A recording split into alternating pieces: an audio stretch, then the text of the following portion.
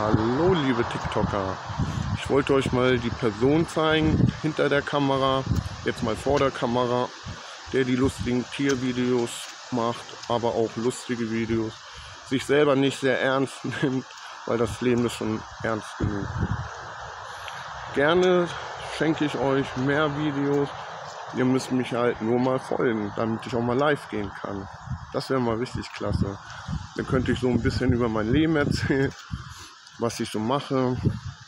Jetzt wieder mal, wo ich war, ja und so weiter. Also folgt mir und ihr erfahrt ein bisschen oder auch ein bisschen mehr. Also viel Spaß.